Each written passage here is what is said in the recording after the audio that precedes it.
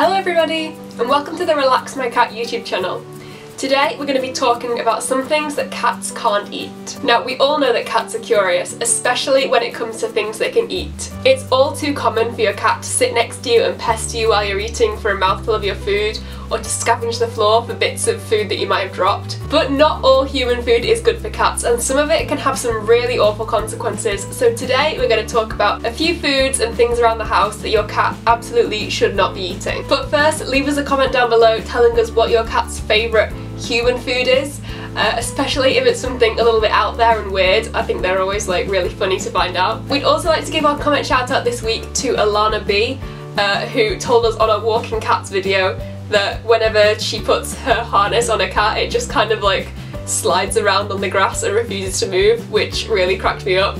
Uh, so thank you Alana for leaving that comment. So one thing that cats definitely can't eat is onion, garlic or anything in that kind of family. This can be really harmful for your cat's red blood cells, uh, so definitely avoid feeding your cat anything with onion in or garlic, especially kind of things like pasta sauces that you might forget have onion in, um, things like that. Even in powdered form, it's still bad for cats. This is one that I feel like is important to know because I feel like onion and garlic are one of those things that always fall down when you're cooking, when you're chopping up things, uh, and it would be really easy for your cat to kind of snag a bit off the floor. So be careful of that. So they also can't have anything from the grapes family.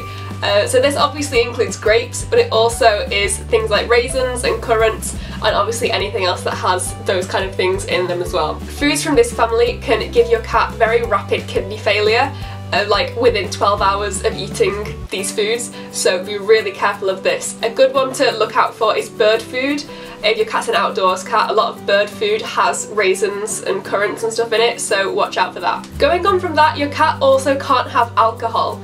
Now this isn't only because some alcohol includes grapes, but it's also because alcohol affects your cat in the same way that it affects humans. Now while your cat being drunk might sound kind of funny and cute, it's actually really dangerous. Cats are so much smaller than humans that even a little bit of alcohol, what we might think of as literally a little sip, can have really intensive consequences on their body. It's actually thought that as little as three tablespoons of alcohol can be deadly to your cat. Another human food that is dangerous for cats is caffeine. So this is most commonly found in coffee, tea and also chocolate. This is similar to alcohol in that the main issue is that it affects cats in the same way that it affects humans but on a much more intensive scale because they're so much smaller than us. So it raises their blood pressure and increases their heart rate which can be really deadly really quickly. And when it comes to chocolate just remember that it's all off limits.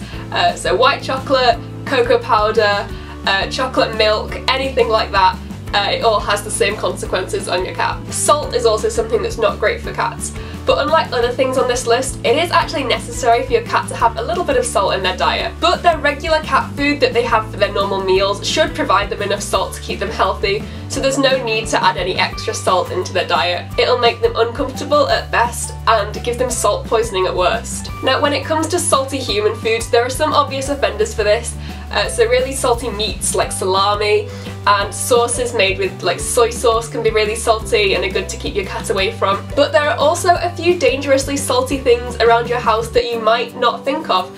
Uh, so for example, Play-Doh and salt lamps can cause them to ingest excessive salt. And finally, there are a few things around your house that aren't necessarily food, but your cat might still try to eat them and they will have really bad consequences. A big one is houseplants. A lot of houseplants are actually really dangerous for cats. Even if they don't actually consume them, just rubbing against them or kind of inhaling the pollen or licking the pollen off their bodies can be really dangerous. It's also some of the most popular houseplants that are dangerous to cats uh, so monsteras, aloe vera and lilies are some of the worst offenders.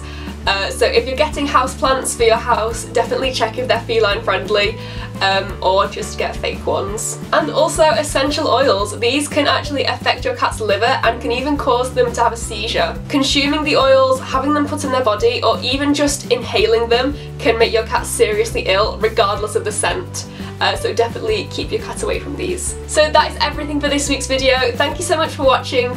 We hope you found it interesting and we hope you learned something about cats today. If you did enjoy the video, remember to leave a like and a comment to let us know and also subscribe to the Relax My Cat YouTube channel for loads more cat content going up all the time. I'm going to head off now, so I'll see you next time. Bye!